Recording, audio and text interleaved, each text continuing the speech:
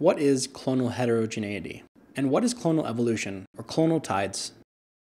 One thing we have learned with multiple myeloma is that we're not dealing with just one type of cancer cell. In myeloma, there's a lot of subgroups of cells that compose my, multiple myeloma, and that's why the word multiple is part of the, the name.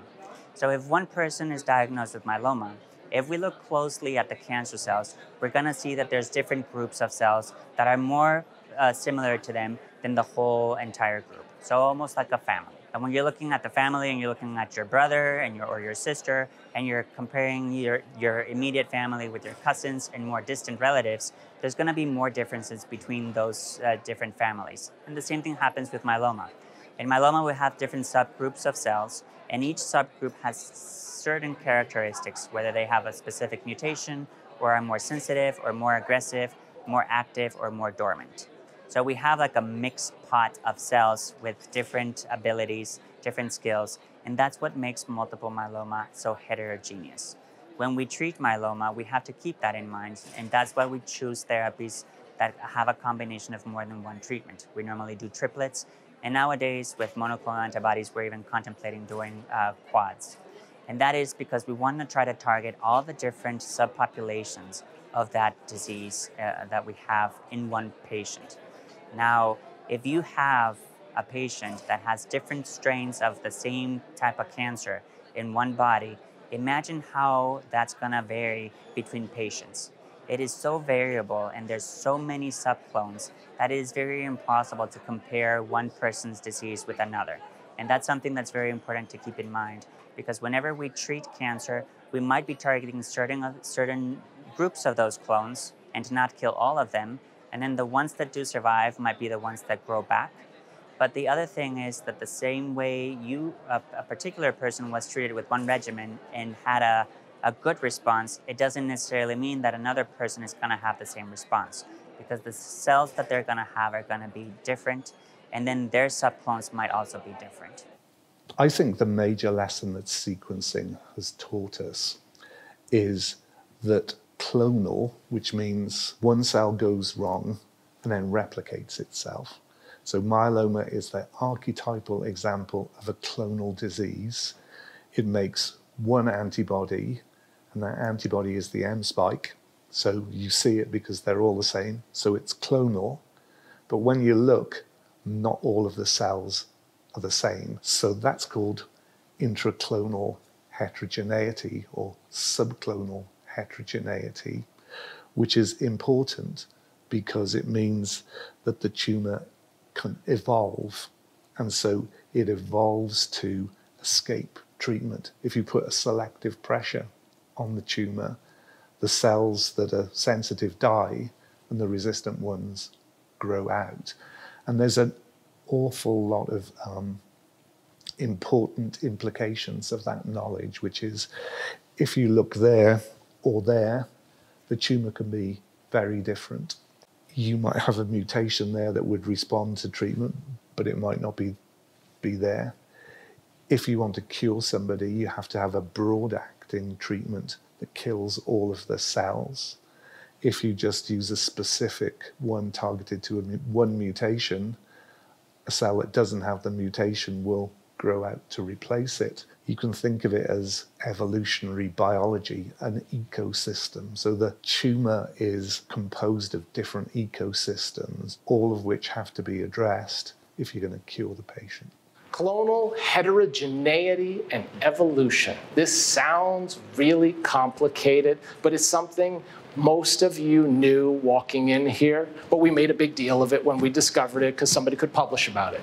So at the beginning, on the left-hand side, you see a myeloma patient from when they didn't have myeloma cells. More myeloma cells, lots of myeloma cells. Now the colors really describe the different tribes that you have in myeloma.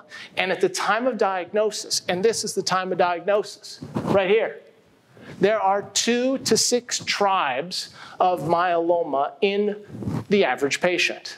Different genetics, different response to drugs, basically very, somewhat different diseases. And this is all under the cover of the same IgG lambda that you have as your monoclonal protein. So that monoclonal protein is made up of output from two to six different tribes of myeloma cells. So what happens? Patient gets chemotherapy and boom, there's a lot less myeloma cells. But there are still a number of tribes there. And at the time of relapse, which is what it is at the far right, usually one clone predominates. It doesn't mean that the other clones aren't there. Some of them aren't. And some, their new ones can develop. But on average, at the time of relapse, one clone really takes over and is really responsible for the vast majority of the monoclonal protein or light, light chains secreted. This is called clonal heterogeneity.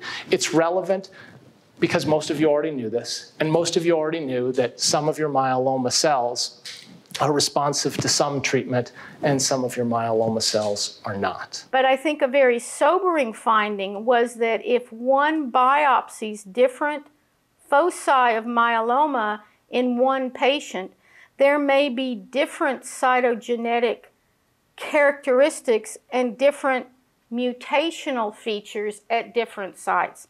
Now, I've used the line, and I realize how old I am because none of the younger doctors smile or laugh, but I'm always struck by saying from The Wizard of Oz when Dorothy says, uh, We're not in Kansas anymore, Toto, because this is not what other cancers are particularly known for, this great heterogeneity. And I'll talk also about this concept of clonal tiding, uh, in addition to the fact that different areas may have different characteristics.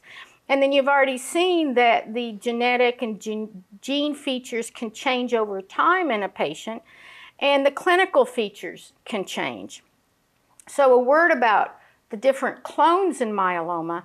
It's been shown, and again, this is our Canadian colleague Jonathan Keats, uh, who's in, uh, um, in uh, Scottsdale, Arizona with TGen now.